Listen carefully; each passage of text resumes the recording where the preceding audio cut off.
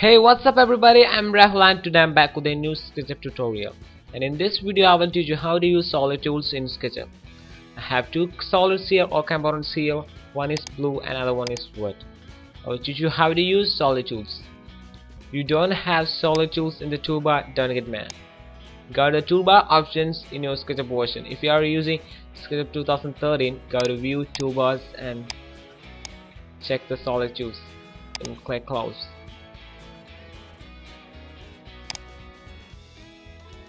And go to the first two outer shell. And before that I have turned on the instructor.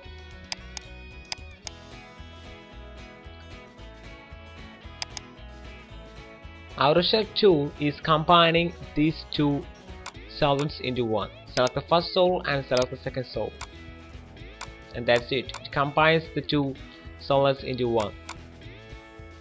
And move on to the second one intersect that is, intersecting all selected solids but keeping only their intersection in the model. That intersecting solid is this. That's two solid intersecting from here to here. And move on to the third tool, union. Union's function is same as the outer shell tool's function. That is, combine these two solids into one select the first soul and select the second soul. And move on to the next two subtract two. That is subtract the first soul from the second soul. Select the first soul and select the second soul. And subtract. The first soul portion is also entered to the second cube or solid. I delete from there and keep the remaining part Next tool is trim tool. Trim tool is trim first solid again second and keep both in the same mode.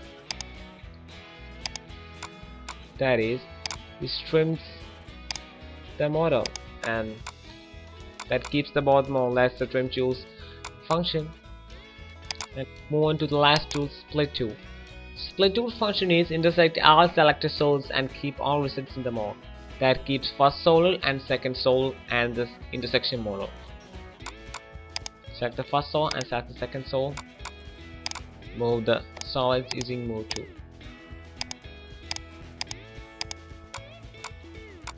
And that's it. That's all and thanks for watching my videos. always stay connected with us. So please subscribe to my channel and donate your relative money to my mail in the description and help me to achieve our goal that is free technological education for all in the world. Thank you.